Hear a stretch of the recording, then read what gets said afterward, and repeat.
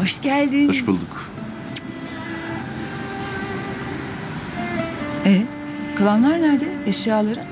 Yoksa kamyonet mi tuttun? Yok başka bir şeyim yok. Bu kadarım ben. Bir bavul, bir çanta.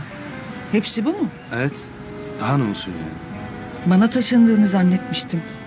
Hafta sonu gezmesine gelmiş gibisin. Ya, ya ben bir süreliğine taşınacağımı belirtmiştim. Net olarak. Hatırlıyor musun? Yani iki bavul eşyanın dışında her şeyin eski evinde yerli yerinde duruyor. Ve dur tahmin edeyim o evi de boşaltmayacaksın. Yani şimdilik boşaltmayacağım evet. Ama müsaade edersen açıklayabilirim. Açıklayacak ne var? Yaptığının anlamı çok bariz.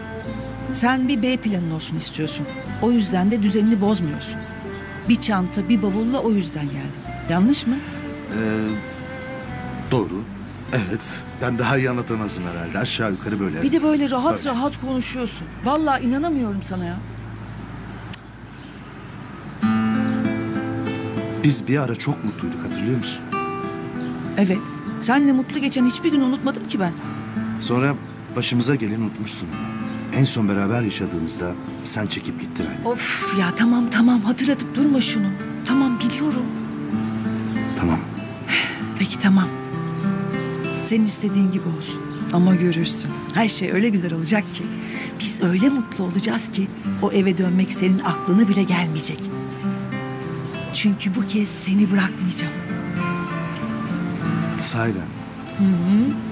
Yaz bunu aklına. Bu kez temelli geldin ve benden kaçışın yok. Tamam mı?